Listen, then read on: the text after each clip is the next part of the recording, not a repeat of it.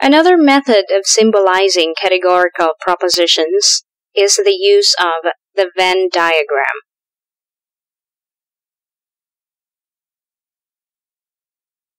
John Venn, who introduced the method, thus the name Venn diagram, used two overlapping circles to represent the relationship between two classes. Consider these diagrams.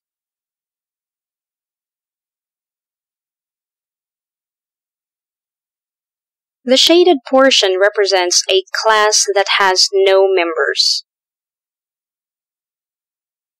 while the area with an X signifies that the class has at least one member. Generally, this is what a Venn diagram looks like. Where this is read as S but not P and this represents the class of things that are part of S but are not part of P. And this is read as not S but P. And this represents the class of things that are part of P but are not part of S. And this is read as S but P and this represents the class of things that are both parts of S and P. Now, let's discuss the Venn diagrams that are used to represent the four standard types of categorical propositions. Here is the Venn diagram for universal affirmative A propositions. The shaded area of this Venn diagram represents a class that has no members. Thus, in the Venn diagram for a universal affirmative A proposition, the area S but not P is shaded to indicate that all members of S are members of P. Thus, we say all S are P. Next is the Venn diagram for universal negative E propositions. The shaded area of this Venn diagram represents a class that has no members. Thus, in the Venn diagram for a universal negative E proposition, the area S but P is shaded to indicate that this class has no members. Thus we say no S are P.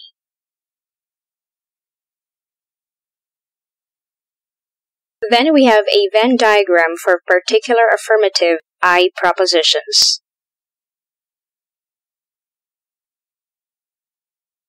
A particular affirmative I proposition asserts that there is at least one member of S that is a member of P. This is diagrammed by placing an X in the area S but P, which is common to the two classes. Thus in the diagram, we place an X in the area S but P, and we say some S are P.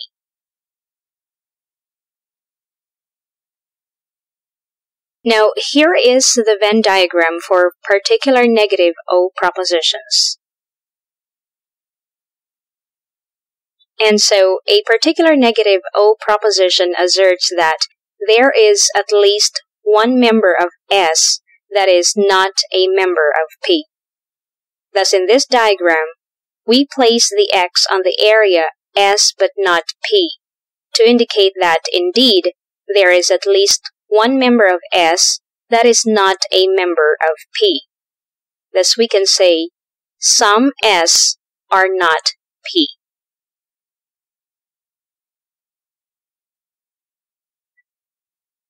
Now, in traditional or Aristotelian logic, one assumes that universal affirmative A and universal negative E propositions have existential import. Thus, in the example, all angels are holy, one assumes that there are angels and that all of them are holy. However, In applying the Venn diagram, one does not make this assumption.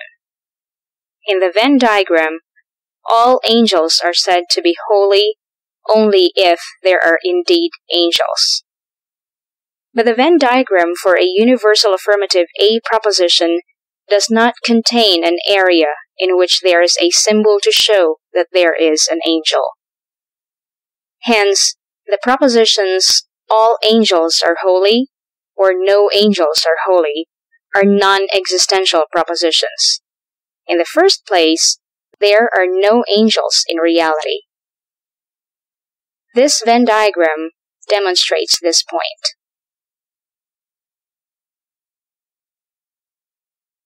As we can see, both application of traditional rules and use of the Venn diagram presuppose that only particular affirmative I and particular negative O propositions have existential import. Thus, a Venn diagram for the particular affirmative I proposition, some angels are holy, contains an X to show that there is at least one angel that is holy. And this is how the Venn diagram looks like.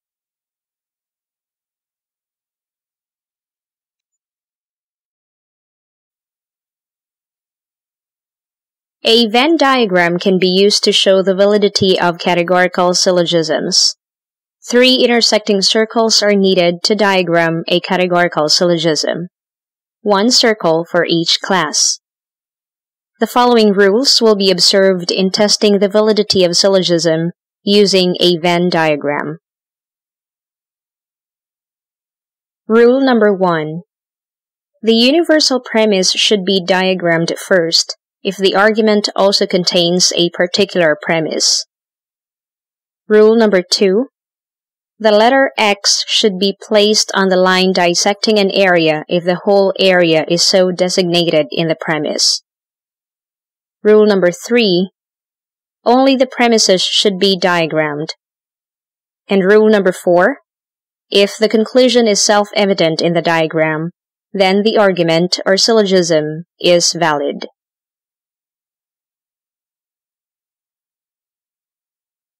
Let us consider this example, which is already in its standard form. All M are P. All S are M. So all S are P. Now, how do we determine the validity of this syllogism using a Venn diagram? Well, first, we need to draw three intersecting circles that is circles for S, P, and M. And then number the areas by starting at the center and then clockwise.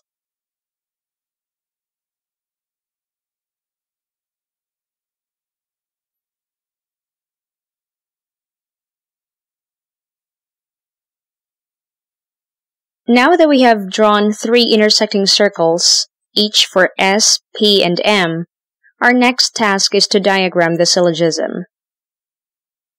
Let us start with the first premise, that is, all M are P. It must be noted that since the premise talks about the circles for M and P only, so we will imagine that the circle S does not exist. Hence, we will diagram M and P only.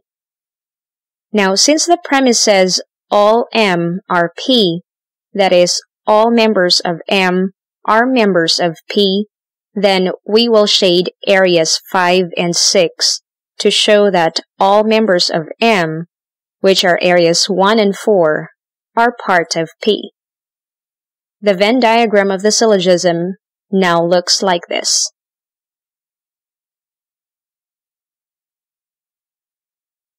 After we diagram the first premise, let us proceed to diagram the second premise, which reads, all S are M. This time, the premise talks about S and M only, so we will imagine that the circle for P does not exist.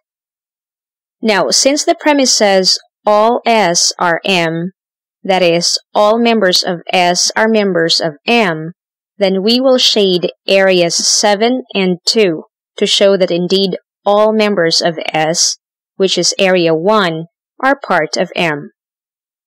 Now the diagram looks like this.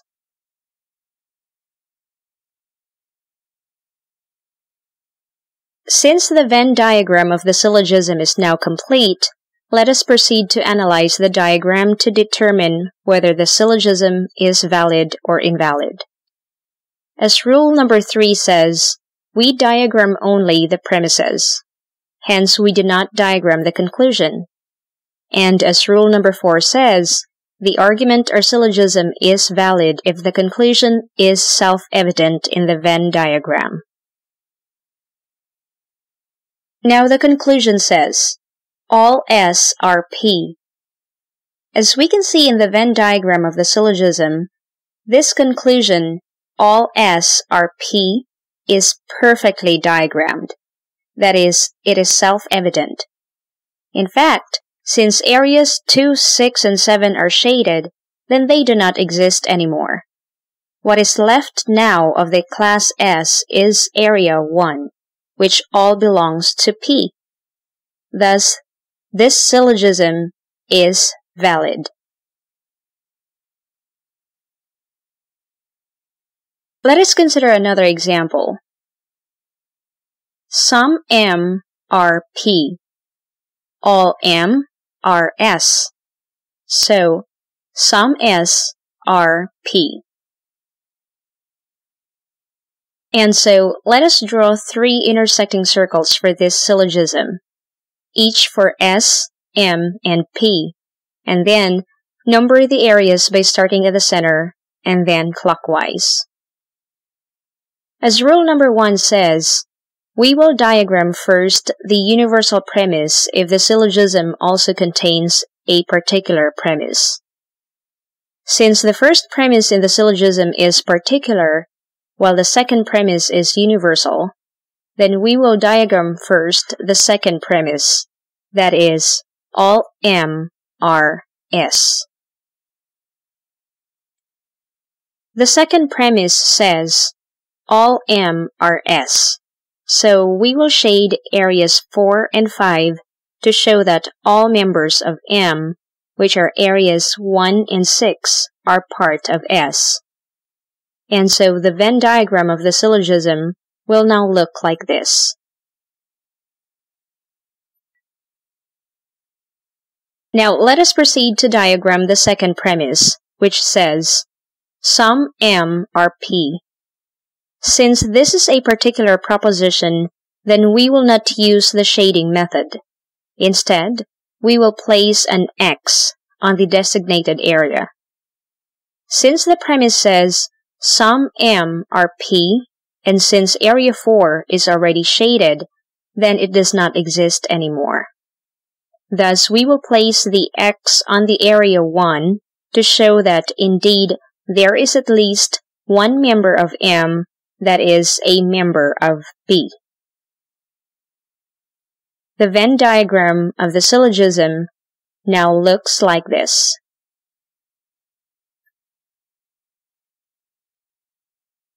Now that the Venn diagram of the syllogism is complete, let us proceed to determine its validity. And so, again, rule number three says, we diagram only the premises. Hence, we do not diagram the conclusion.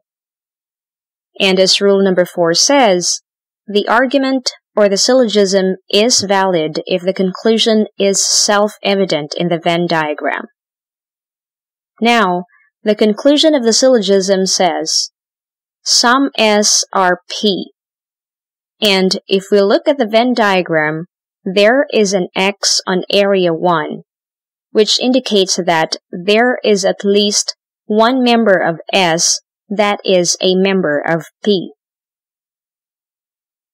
Hence, the conclusion which reads, some S are P, is perfectly diagrammed in the Venn diagram. Indeed, the conclusion is self-evident, therefore, the syllogism is valid.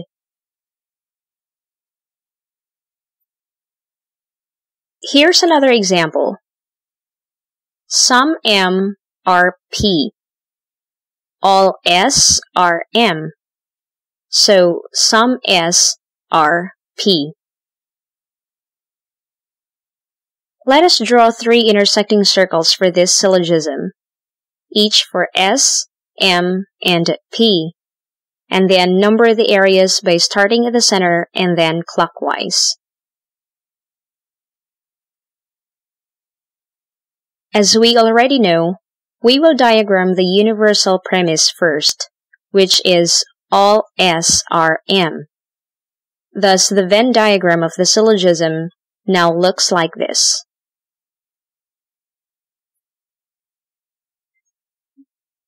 Then let us diagram the second premise which says, some M are P. Since areas 1 and 4 are so designated in the premise, then we will place the X on the line that dissects areas 1 and 4 to show that the whole area is so designated. Hence, the Venn diagram of this syllogism now looks like this.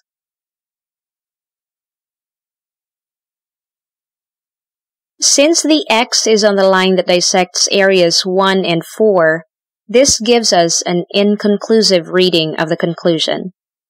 For this reason, this syllogism is invalid. Indeed, the conclusion is not self-evident. It is not perfectly diagrammed.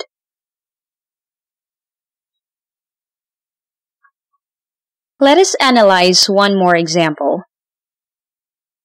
All M are P. No S are M. So, no S are P. Again, let us draw three intersecting circles for this syllogism, each for S, M, and P, and then number the areas by starting at the center and then clockwise.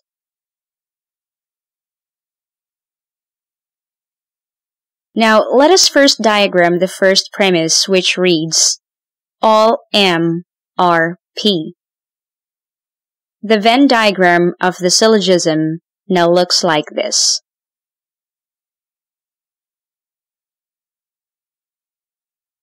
Then let us diagram the second premise which reads, no S are M.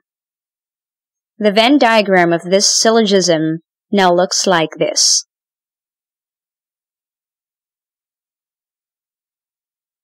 The conclusion of this syllogism, which reads, no S are P, asserts that no members of S should be a member of P.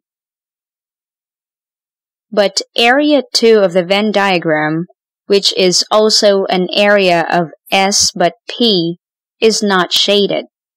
Thus, the Venn diagram does not perfectly diagram the conclusion. Indeed, the conclusion is not self-evident.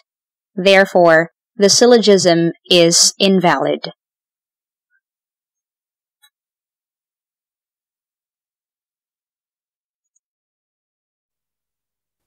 That's it for now. Thanks for visiting us today for another whiteboard discussion here at Philo Notes. Full transcript of this video is available at philonotes.com. And to keep you updated of our newest videos, simply click here and subscribe and tap the bell for notifications. Thanks! Take care!